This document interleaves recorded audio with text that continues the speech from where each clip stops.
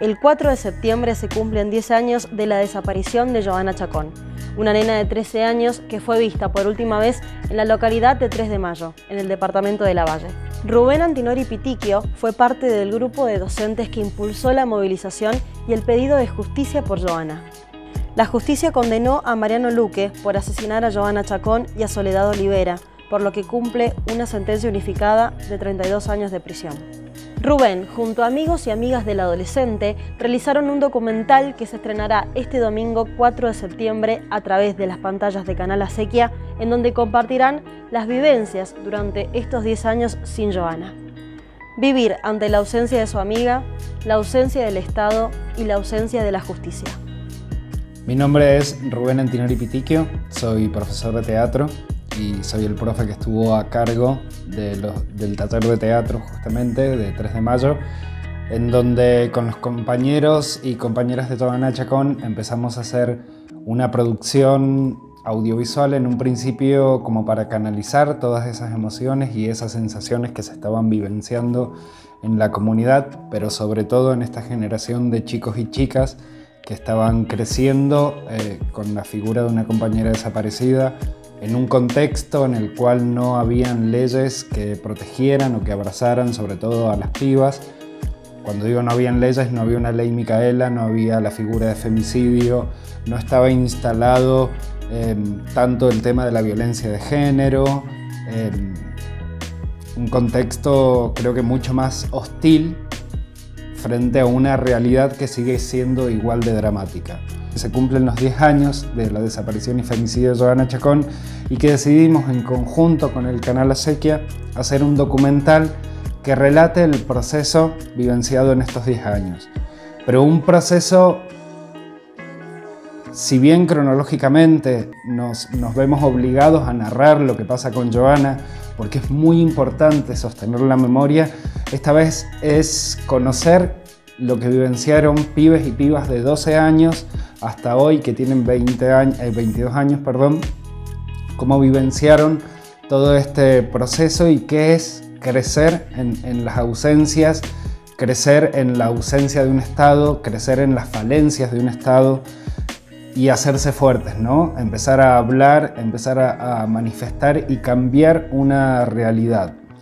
Y una realidad que, cambia no solo en 3 de mayo, sino que nos cambia a nosotros a nivel social.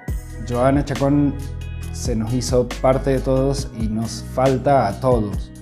Y a la vez también asumir el compromiso educativo de las y los docentes que atravesamos en las escuelas, que tenemos la obligación de transformar nuestra realidad.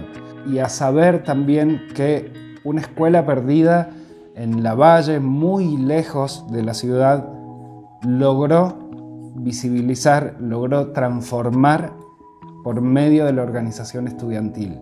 Este es el, espíritu del documental que va a ser estrenado el 4 de septiembre en conmemoración de la fecha de su desaparición y que además está apuntado a elaborarse en las escuelas para hacer cumplir la ley provincial de conciencia ciudadana. No solo va a estar este documental, sino que además el documental está apoyado con una actividad que ha diseñado la Facultad de Artes y Diseño de la Universidad Nacional de Cuyo para poder realmente hacer un trabajo íntegro, eh, profundo, dinámico, que nos permita empezar a trabajar con urgencia en el cambio de la realidad que hoy nos toca vivir y que desde hace 10 años o mucho más tiempo nos ha tocado atravesar. Creo que frente a, la desaparición de una compañera, em, el panorama nunca es positivo. Em, creo que lo, más difícil es transformar el dolor en un hecho artístico, poder dar ese salto em, y a la vez también entender que con esto se empezaba a buscar una verdad, saber qué estaba pasando con Giovanna Chacón.